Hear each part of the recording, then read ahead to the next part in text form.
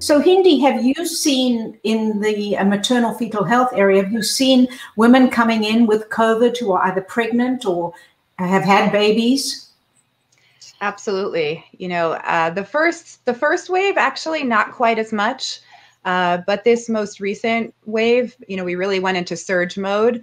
The whole hospital. So, you know, I have to say, Amy, thank you. I know I don't work in Ventura County, but it's people like you and organizations like what you did that really helped make what we do on a day to day basis so functional because yeah we were in um, we were really in a surge. There were we were people were redeployed to areas where they don't normally work.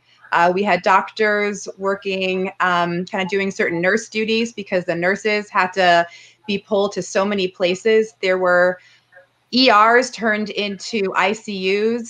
Um, there were regular units turned into like ERs or ICUs. We were seeing patients on labor and delivery who weren't even pregnant uh, because that was the only place for them to go.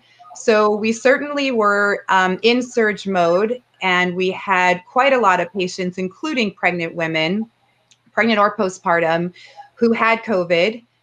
Thankfully, most of the women who are pregnant are young and are usually on the healthier side. So most most did fine. Um, a lot of our women were actually able to just have COVID and be at home but we had we had quite a number of women who were hospitalized and we even actually had one woman uh, who didn't make it